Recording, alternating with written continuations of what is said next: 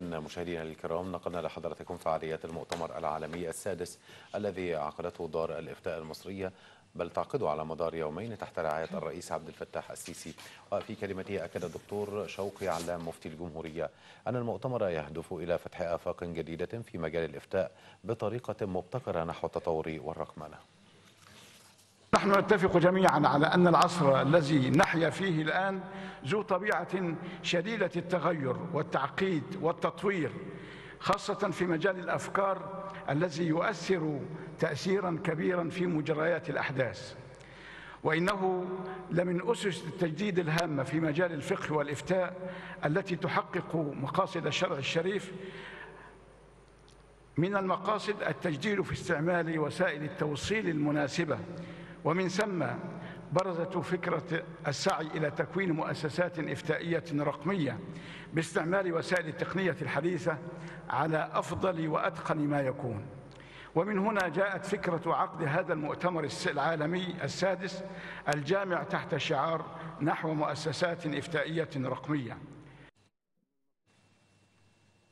كما أكد الدكتور شوقي علام أن العلماء بذلوا جهدا كبيرا وتعاونوا من أجل إعادة صورة الإسلام السمحة التي شوهها الإرهاب الغاشم.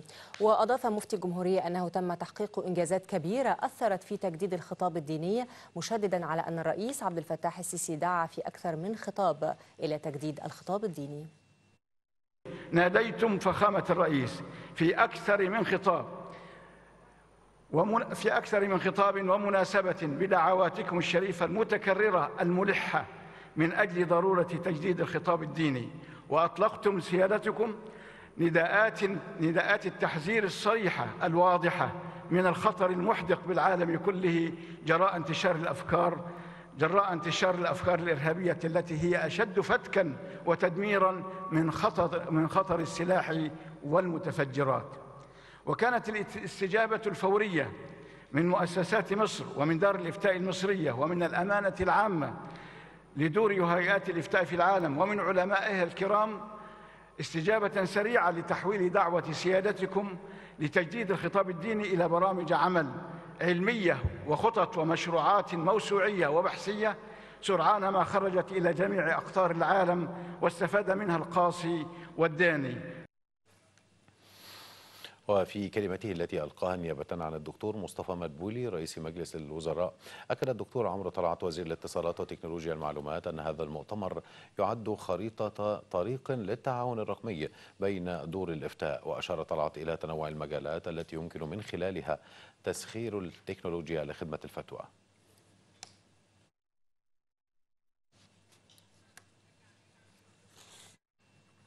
من جانبه أكد الدكتور محمد مختار جمعة وزير الأوقاف ضرورة دعم وتقوية مؤسسات الدولة الوطنية في مجال الإفتاء والوعظ الدينية مشددا على حتمية التعاون والتنسيق بين المؤسسات الدينية لنشر الفكر المستنير. كما أكد وزير الأوقاف ضرورة التأهيل المستمر للوعاظ وأمناء الفتوى بما يمكنهم من فهم الواقع.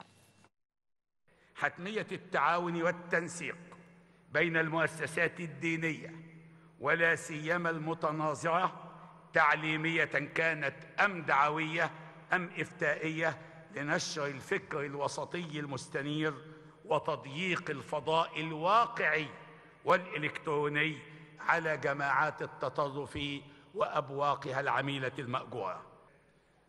التدريب والتأهيل المستمر لجميع العاملين في مجال الشأن الديني من الخطباء والوعاظ وأمناء الفتوى بما يمكنهم من فهم الواقع وقضاياه ومستجداته والتسلح بأدوات العصر ولا سيما ما يتصل بعصر الرقمنة واستخدام مختلف أدوات ووسائل التواصل الحديثة والعصرية وفي كلمته التي ألقاها نيابة عن الدكتور مصطفى مدبولي رئيس الوزراء.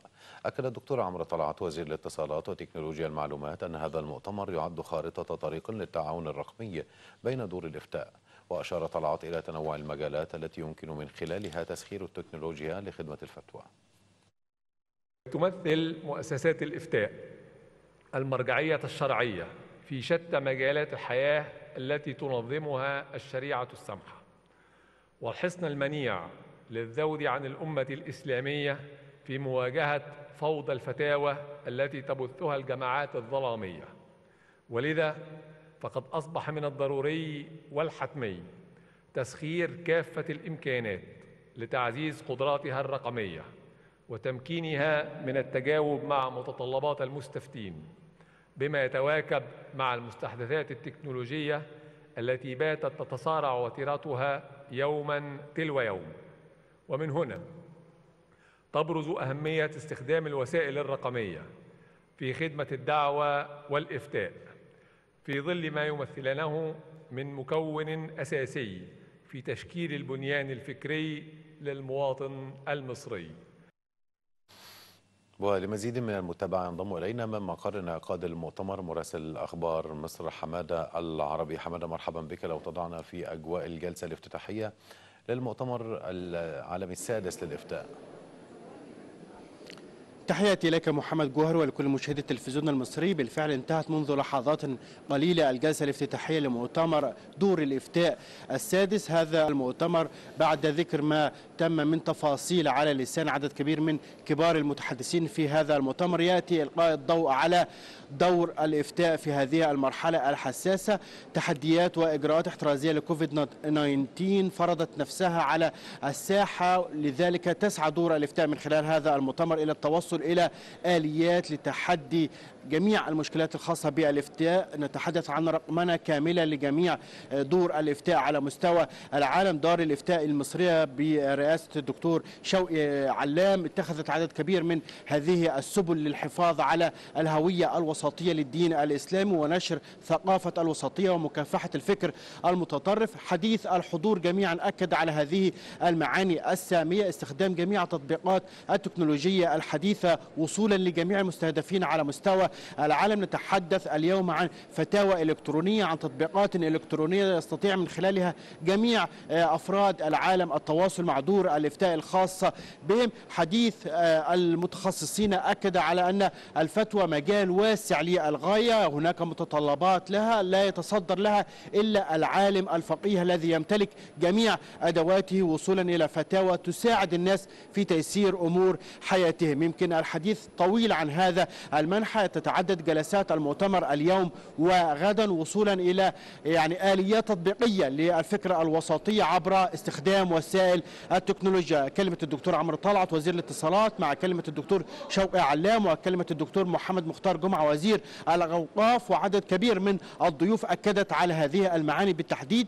مكافحة الفكر المتطرف والإرهاب مكافحة الجهل وأحيانا غياب الوعي لدى عدد كبير من المؤسسات والأفراد في مختلف دول العالم يأتي عبر التواصل المستمر باستخدام أدوات تكنولوجية حديثة تطبيقات يتم تحميلها على الهواتف المحمولة وعلى مواقع التواصل الاجتماعي وصولا إلى أن يكون هناك مصدر قوي ومصدر موثق للمعلومة للإفتاء على مستوى العالم. مؤتمر مهم للغاية يتواكب مع نظرة مصر الشاملة لمكافحة الإرهاب والتطرف وترحيب من جميع الوفود المشاركة بتنظيم مصر لهذا المؤتمر سواء في الدول من الدول العربية أو من مختلف دول العالم الحاضرة بقوة عبر رؤساء دور الإفتاء لها أو ممثلين عن دور الإفتاء لها في هذا المؤتمر. شكرا لك حمد العربي مراسل أخبار مصر كنت معنا مباشرة من مقر المؤتمر.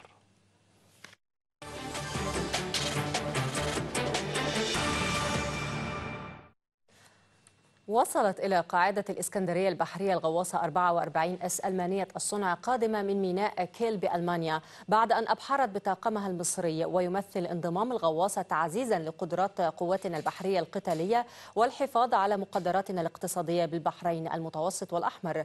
وكذلك تأمين قناة السويس والمحافظة على الأمن البحري بما يعزز من تحقيق الأمن والاستقرار والسلم بالمنطقة.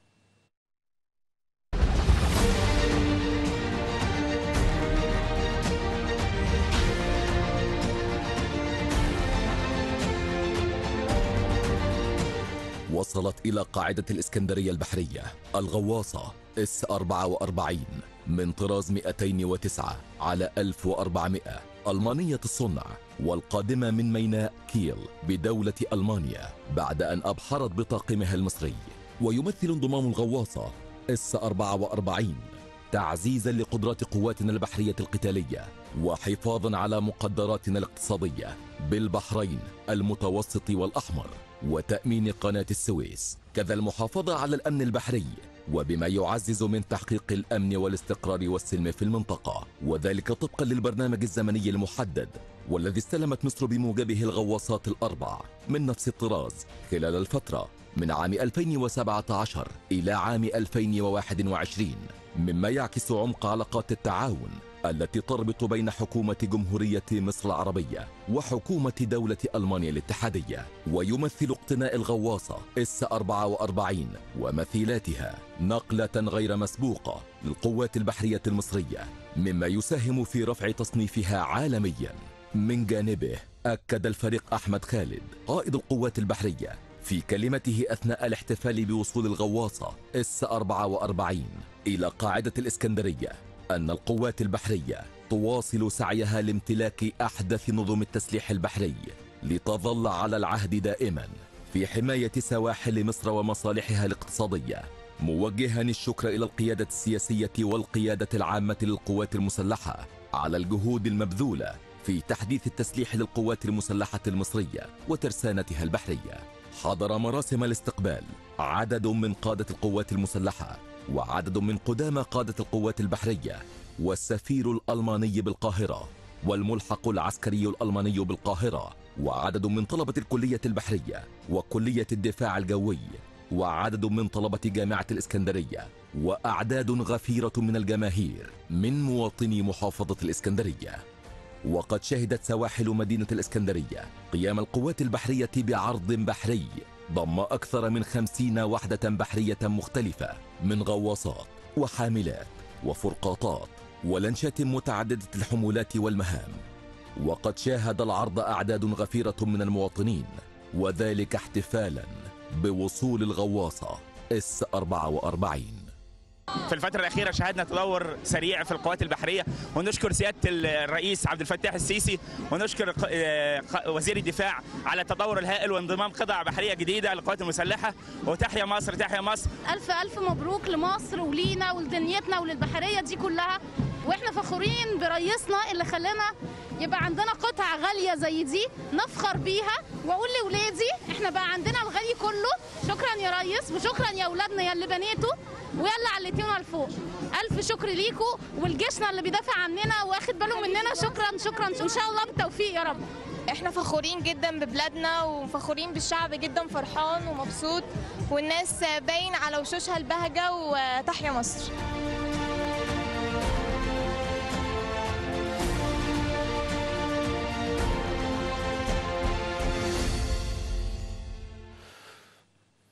واصلت عناصر من القوات الجوية المشتركة في التدريب المشترك الجوي المصري الإماراتي زايد ثلاثة إلى قاعدة الظفرة الجوية بالإمارات والذي يتم بمشاركة عدد من الطائرات المقاتلة متعددة المهام من مختلف الطرازات.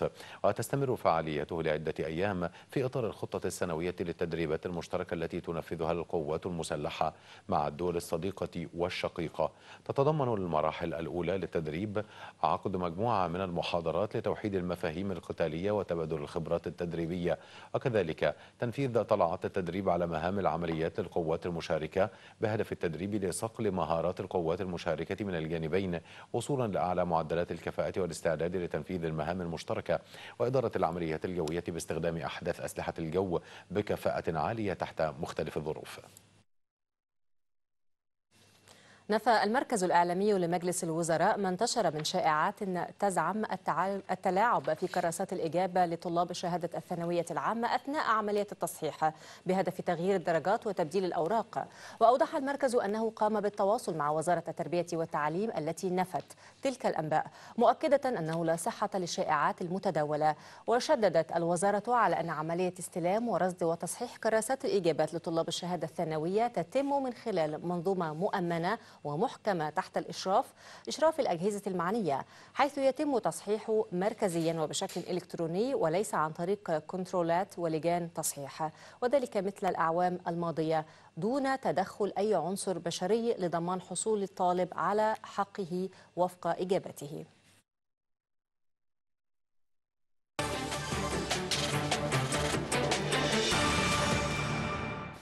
وجهت وزيرة الصحة والسكان الدكتورة هالة زايد بالانتهاء من تطعيم العاملين بالقطاع السياحي بمحافظتي الأقصر وأسوان بلقاح كورونا خلال الشهر الجاري وذلك بالتزامن مع خطة الدولة لتنشيط السياحة والتعايش الآمن مع كورونا. جاء ذلك خلال الزيارة الميدانية لوزيرة الصحة لمتابعة سير العمل بمنظومة التأمين الصحي الشامل بمحافظة الأقصر حيث تفقدت الحجر الصحية بمطار الأقصر الدولي وعددا من المستشفيات ووحدات طب الأسرة لمتابعة العمل بمنظومة التأمين الصحي الشامل التي انطلقت بالأقصر فبراير الماضي. ارتفع عدد الإصابات بفيروس كورونا حول العالم إلى أكثر من 198 مليونا بينما تخطت حصيلة الوفيات حاجز الأربعة ملايين. وتتصدر الولايات المتحدة قائمة الدول الأكثر تضررا جراء تفشي الوباء حيث وصلت الأعداد الإصابات إلى 35 مليونا في حين بلغ إجمالي الوفيات قرابة 600 ألف. وفي فرنسا ذكرت هيئة الصحة العامة أنه تم نقل أكثر من 7500 شخص مصاب بفيروس كورونا إلى المستشفيات بينهم أكثر من ألف إصابة في العناية الحرجة خلال الأربع والعشرين ساعة الماضية في الوقت الذي تواصل فيه الموجة الرابعة لكورونا الانتشار في فرنسا. فرضت الصين إغلاقا كاملا على ملايين السكان لاحتواء أكبر تفش لكورونا منذ أشهر وبدأت السلطات الصينية إجراء فحوص واسعة النطاق وفرض قيود على السفر. هذا قد سجلت الصين 55 إصابة جديدة ناجمة عن انتقال العدوى محليا فيما تنتشر المتحورة دلتا شديدة العدوى في أكثر من 20 مدينة وأكثر من 10 مقاطعات.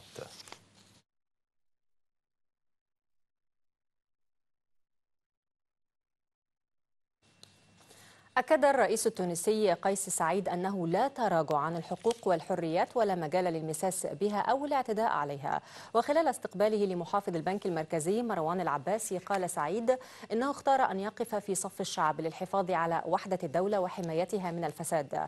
وأعرب الرئيس التونسي عن ثقته في القدرة على تجاوز العقبات بفضل إرادة الشعب ودعم الدول الشقيقة والصديقة. مشيرا إلى وجود اتصالات مع بلدان صديقة للمساعدة في خفض العجز المالي لبلاده. استدعت الخارجية البريطانية السفير الإيراني في لندن على خلفية الهجوم على ناقلة نفط في بحر العرب قبالة سواحل سلطنة عمان. والذي أسفر عن مقتل اثنين من أفراد الطاقم يحملان الجنسية البريطانية والرومانية. وقالت الخارجية البريطانية في بيان لها أنه يتعين على إيران التوقف على الفور عن الأفعال التي تهدد السلام والأمن وأكدت ضرورة السماح للسفن بالإبحار بحرية وفقا للقانون الدولي. من جانبها نفت طهران أي صلة لها بالهجوم على الناقلة ووصفت تلك الاتهامات بالمتناقضة والكاذبة على حد قولها.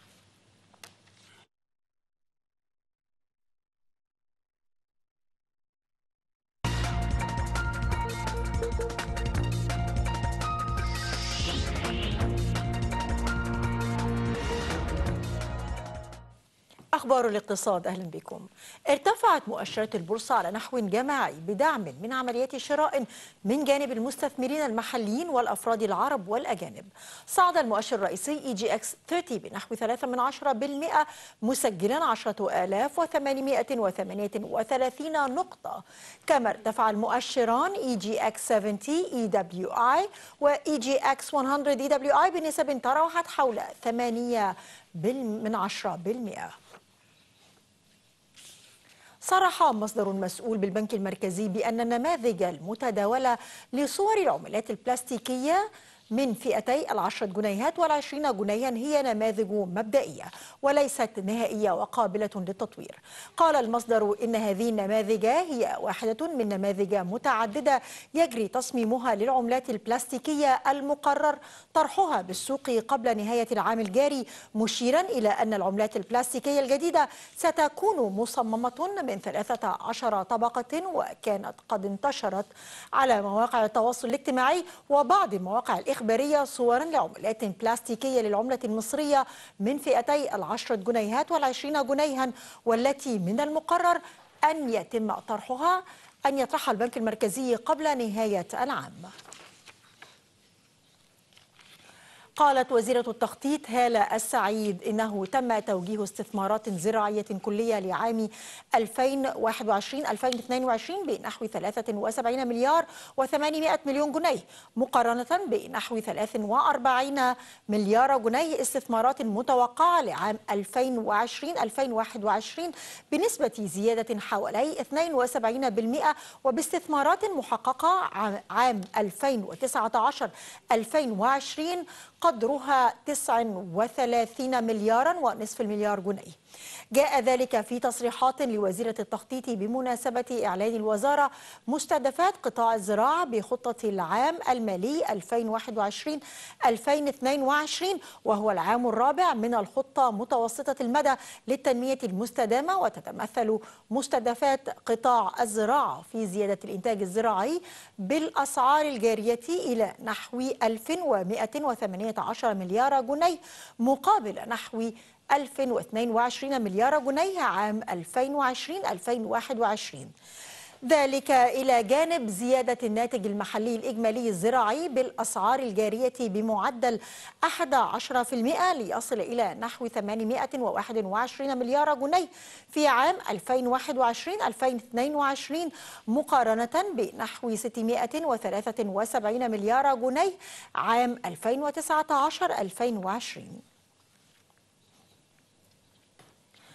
أعلن وزير المالية محمد معيط مضي الوزارة في تعزيز حوكمة إجراءات منظومة المصروفات والإيرادات وإرساء دعام الانضباط المالي ورفع كفاءة الإنفاق العام على النحو الذي يساعد في تعظيم الموارد لتوفير التمويل اللازم لتلبية الاحتياجات التنموية للمواطنين. إلى جانب تحسين الخدمات المقدمة إليهم والارتقاء بمستوى معيشتهم وأضاف الوزير أن استدامة توحيد المبادئ في المسائل المالية بالجهات الإدارية والتطبيق الدقيق للتعليمات المالية تضمن تنفيذ الموازنة العامة للدولة على النحو المستهدف بما يتسق مع مستهدفات برنامج الإصلاح الهيكلي وتطوير الأداء الحكومي الذي يستهدف تيسير المعاملات الحكومية.